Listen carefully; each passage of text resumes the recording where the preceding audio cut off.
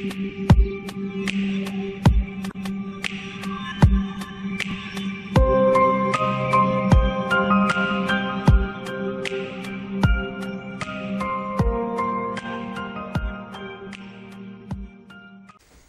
wunderschönen, da bin ich euch schon wieder, euer Odin und immer noch in der Wohnung von meiner Frau. Und wir wollen die Badewanne aufbauen und zwar das Badeset, nee, die Badestation.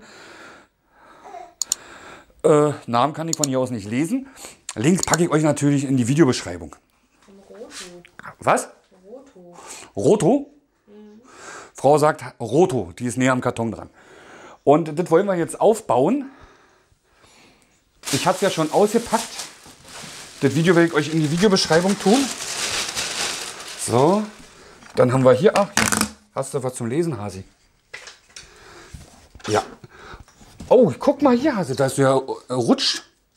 Anti-Rutsch. Anti-Rutsch. Und hier ist der Stöpsel. Und die ist viel größer als unsere. Die normale, aber hier schön verengt für die Füße. Ist ja geil. So. Okay, also das ist die Badewanne. Aber das Video ist noch nicht vorbei, weil das ist ja mehr damit bei. Wir haben ja dann hier noch dieses. Das kommt um die Badewanne rum. Das packe ich jetzt erstmal aus.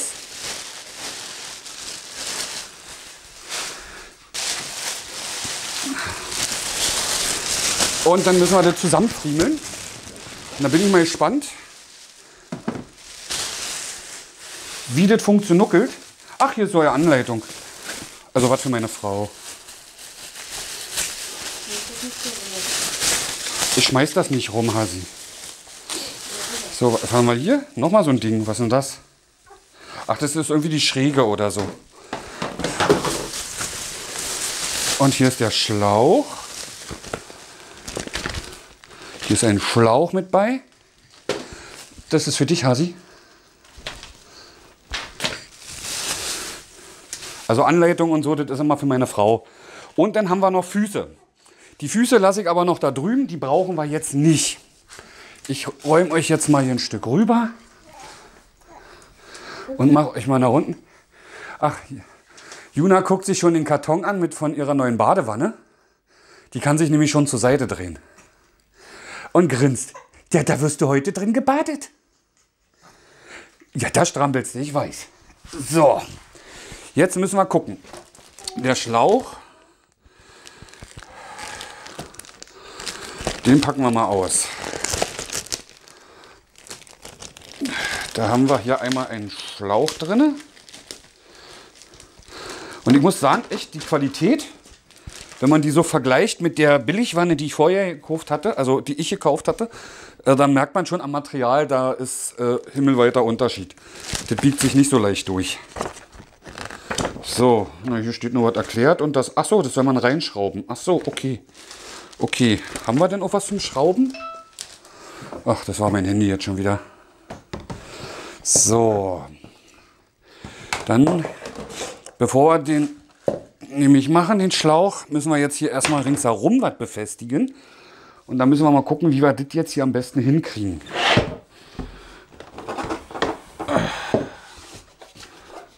Kommt das? Achso, das kommt hier oben. Ah, so, okay. Gut. Ähm, so. Ah, alles klar. Alles klar. Und dann muss hier noch.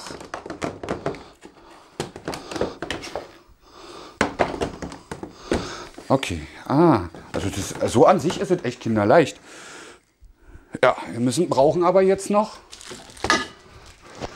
diese beiden Stangen. Ach, die hier zusammengedingst sind. So, mit Klebeband. Ist doch nicht.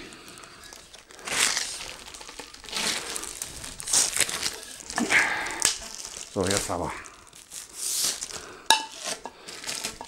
Das habe ich nämlich auf einen Blick gesehen, dass wir das brauchen. So, kann man immer noch abmachen.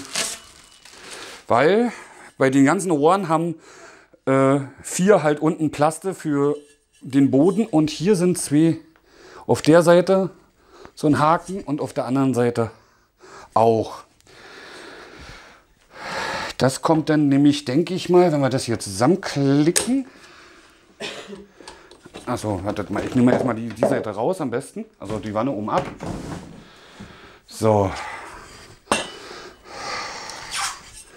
Dann klicken wir das hier so rein. Zack, und ist schon eingerastet. Auf der anderen Seite machen wir das genauso.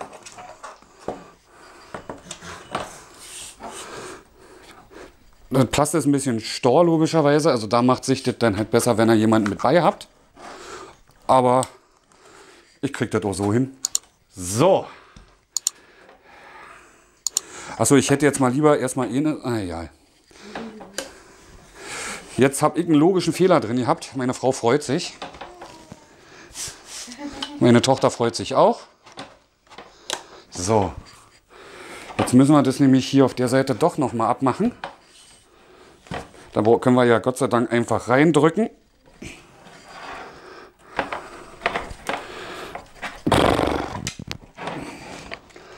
Und wieder rausziehen. Und dann nehmen wir hier einfach einmal, machen so ein bisschen rein. Auf der anderen Seite auch eindrücken. Und ein bisschen rein. Und dann können wir hier nämlich das runterziehen. Was ist denn los, Hasi? So, einmal drin. Habt ihr gehört, wie gefloppt hat?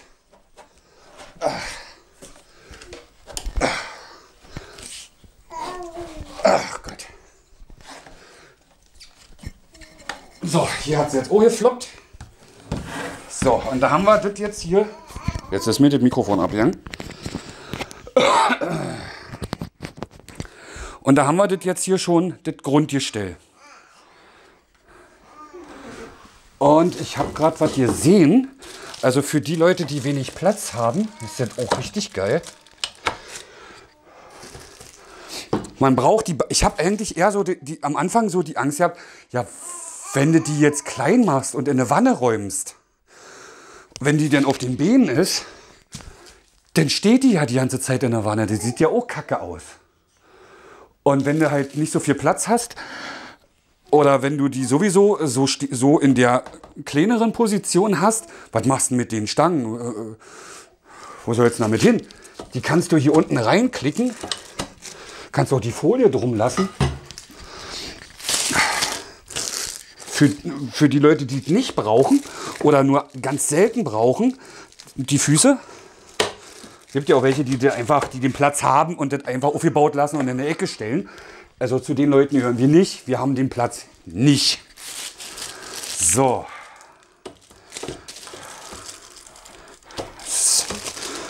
Ist ja geil. Und dann steht das, sieht das so aus. Wir haben hier die Stangen jetzt drin. Ich kann euch das mal von der Seite zeigen. Hier. Die kann man auch jederzeit jetzt rausnehmen. Die werden nur reingeklickt. Und dann kann man sie hier reinmachen. Oder hier unten besser gesagt, zeige ich euch das mal.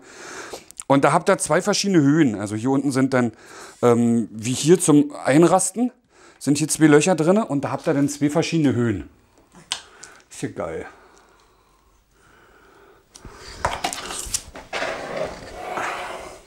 So, und jetzt habt ihr hier eine Ablage für euren. ja, nicht für dich. Die Ablage ist nicht für dich. Du kommst in die Wanne. So, ich mache das mal so. Dann seht ihr das ein bisschen besser. Dann habt ihr hier Ablage für Seife und das Waschzeug. Hier könnt ihr euren Lappen. Hier habt ihr dann noch ein Rundet. Wenn ihr jetzt, äh, was weiß ich, aus der Drogerie irgendwas habt, was in einer runden Flasche ist, könnt ihr das darin machen. Oder Spielzeug. Und nicht nur da. Ich drehe es einfach mal um. Hier sieht es genauso gleich aus. Wir haben hier wieder ein rundes, wir haben dieses etwas dreieckige und das ja, andere Feld, wo auch so ja geriffelt hier drin ist. So, wir sind aber noch nicht fertig. So, die, die, könnt, die kommt dann einfach rauf. Die ist hier auch, wie ihr seht, fest. Also da kann auch nichts, braucht da keine Angst haben, dass die dann irgendwie zur Seite rutscht oder irgendwas. Die ist fest. Jetzt wollen wir aber noch. Also ihr könnt auch einfach, wenn ihr der Wanne habt, einfach so den Stöpsel immer rausmachen. Aber das ist ja nicht Sinn und Zweck der Sache. Wir wollen ja nicht den Stöpsel immer wieder rausmachen. Wir werden das in eine Wanne stellen, war Hase? Aber erhöht. Und hier mit dem Schlauch, den können wir dann unten ran machen. Und dann, selbst wenn es neben der Wanne steht, können wir den dann halt zum Beispiel in eine Wanne drin machen. So, ich zeige euch das mal. Also, ihr müsst euch vorstellen, jetzt hier draußen steht die Wanne. So, also hier das ist die Badewanne und hier ist das Kinderding. So, und dann Schlauch einfach in eine Wanne drin. Wasser läuft ab. So, und das wird ganz einfach befestigt. Das kommt hier unten ran. Hier unten ist auch so eine Dichtung, hier oben. Äh, ja, dann kommt die Dichtung davor oder darunter. Kommt die oben drauf oder drunter? Ach, oben drauf war sie. Die Dichtung. Also da muss ich dann wirklich mal sicherheitshalber nachlesen.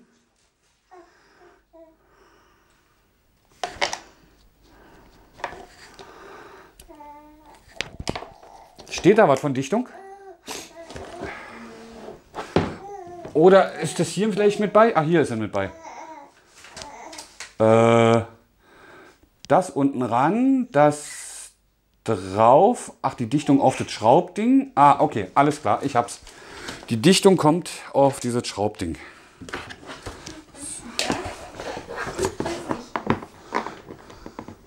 Und dann brauchen wir das hier einfach nur reinschrauben. So, ich mache mal so, dass ihr das so ein bisschen besser seht. Können wir dann halt auch von der Seite schrauben. Oh, hier habt die Nase. Moment. So, macht nicht zu fest, weil es ein Plastikwinde. Nach fest kommt ab. So. Ja, du wirst da drin heute gebadet, Hasi. So, und dann haben wir ja hier noch diesen Stöpsel, der war auch mit bei. Weil der andere, der ist ja natürlich für ein großes Loch, der vorher drin war. Und hier haben wir jetzt ein kleineres Loch und das ist dafür. Und den machen wir dann da einfach drauf. So, bumm, fertig. Dann haben wir jetzt hier noch so ein Ding. Äh, kriegt man das auch ab ohne? Ne, man muss es kaputt machen. So. Das ist ein Badewanneneinsatz.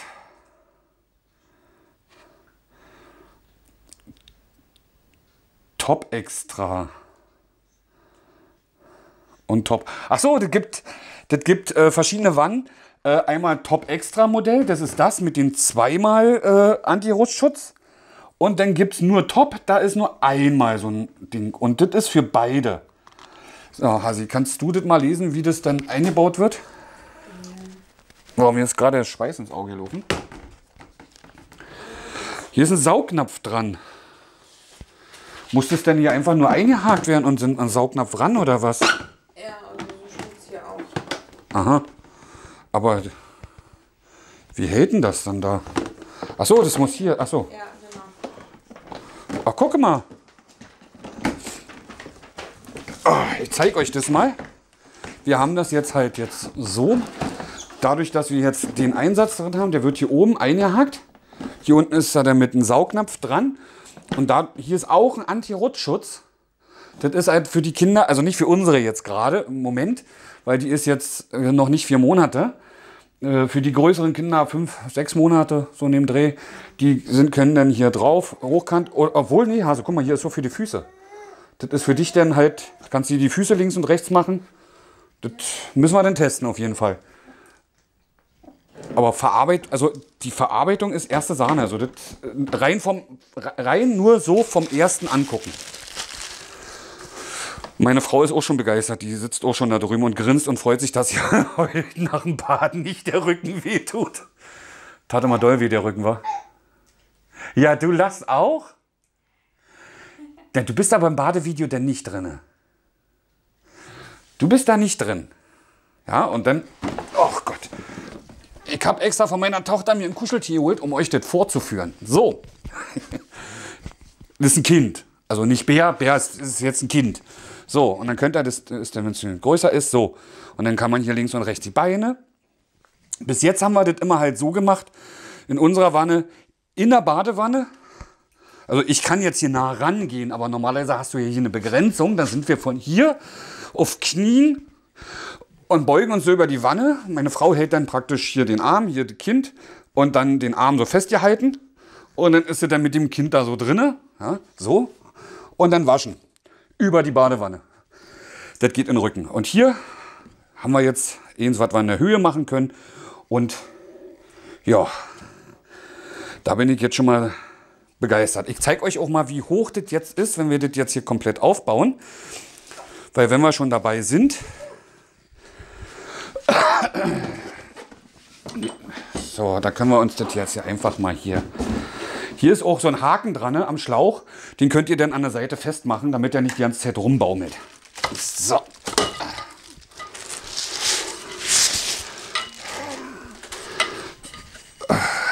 So.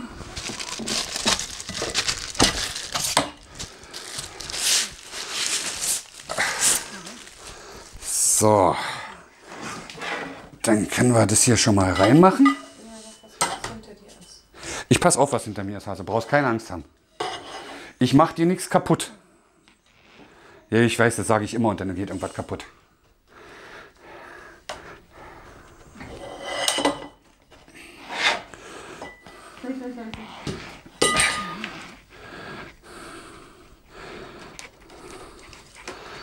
Ach Gott.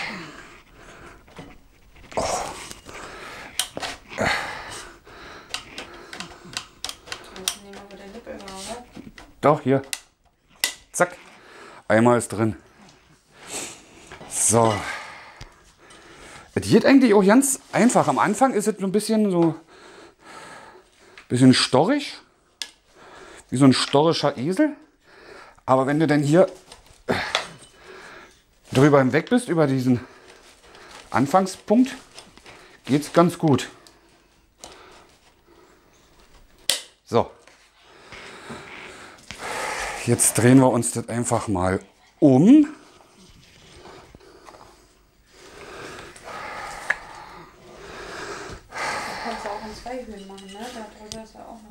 Genau, da drüber ist auch noch eins. Kannst du auch noch ein Stück tiefer machen. Habe ich ja vorhin gesagt.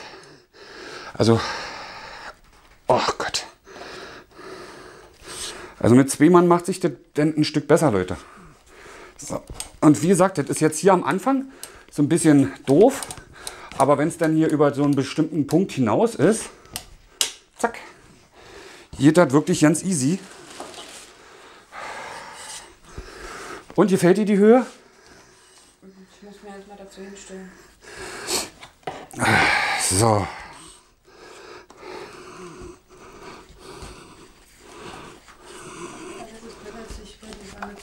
Alles ist besser als über sie.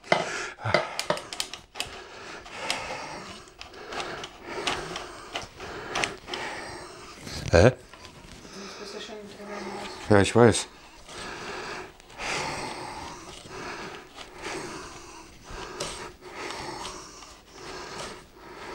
Ah, da ist er. So. Puh.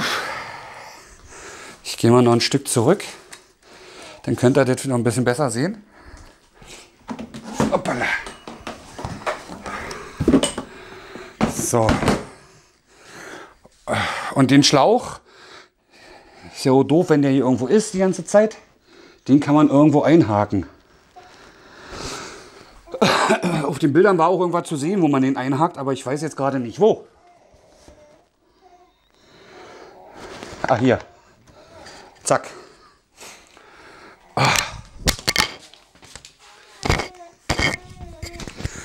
Jungchen, was ist denn los?